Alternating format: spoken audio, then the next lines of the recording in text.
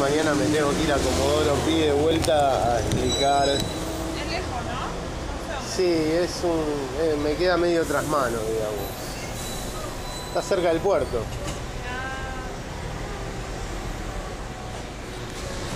Me sonó. ¿Viste lo que dijo la muchacha esta que te vino a comprar eh, cosas dulces?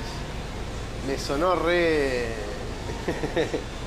Casi me le cago de risa en la cara. Y porque dijo, cayó adentro. Ah. Siempre que caiga adentro está todo bien. me pareció.